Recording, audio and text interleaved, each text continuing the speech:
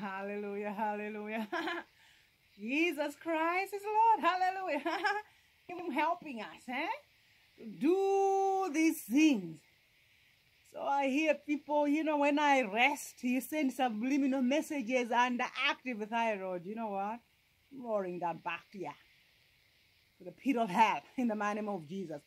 I don't want your foolish talks anymore. I don't want your uh, jesting. You know, you've, you've been destroying people's lives over the years. Your medical shit. It's actually, it's not a profession. It's actually medical shit.